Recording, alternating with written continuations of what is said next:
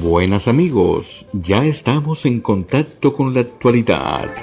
Diputados respaldan a Eddie Olivares para presidencia de la Junta Central Electoral.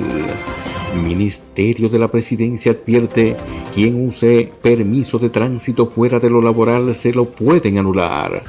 Finaliza inscripción para entrar a la Junta Central Electoral.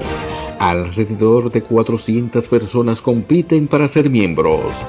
Cancelan profesores de la Escuela de Artes Visuales en el Ministerio de Cultura.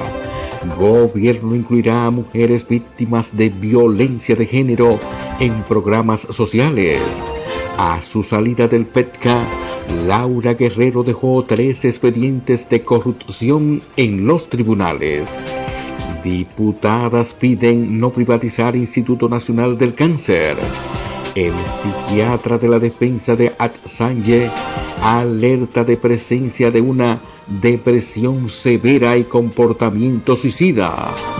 Sindicalistas sugieren al gobierno y empresarios crear fondos para el pago de la regalía a los trabajadores.